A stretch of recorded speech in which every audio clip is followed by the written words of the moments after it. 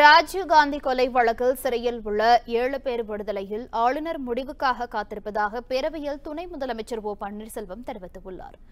ஆளுநர் பதவி என்பது ஒரு தேவையில்லாதது என அண்ணாவின் கொள்கையில் திமுக உறுதியுடன் இருப்பதாக சட்டப்பேரவையில் பேசிய மு ஸ்டாலின் பேரறிவாளன் நளினி உட்பட ஏழு பேர் விடுதலை குறித்த தீர்மானம் எந்த நிலையில் உள்ளது என்று கேள்வி எழுப்பினார்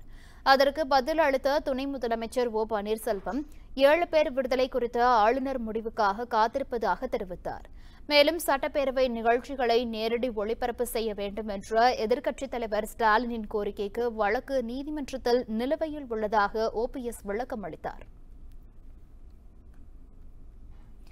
இதேபோல் சட்டசபையில் பதிலுரை அளித்த துணை முதலமைச்சர் ஓ பன்னீர்செல்வம் அரசு ஊழியர்களுக்கு பண்டிகை கால முன்பணம் ஐந்தாயிரம் ரூபாயிலிருந்து பத்தாயிரம் ரூபாயாக உயர்த்தி வழங்கப்படும் என்று அறிவித்தார் மேலும் ஓய்வூதியதாரர்களுக்கான பண்டிகை கால தொகை இரண்டாயிரத்திலிருந்து நான்காயிரம் ரூபாயாக உயர்த்தி கொடுக்கப்படும் என்றும் தெரிவித்தார் உண்மை செய்திகளை உங்கள் கண்முன் கொண்டு வரும் காவிரி நியூஸின் யூடியூப் சேனலை சப்ஸ்கிரைப் செய்யுங்கள் நொடிக்கு நொடி நாட்டு நடப்புகளை தெரிந்து கொள்ள Kaveri news dot TV Facebook Instagram Twitter போன்ற சமூக வலைதள பக்கங்களோடு எப்போதும் இணைந்திருங்கள்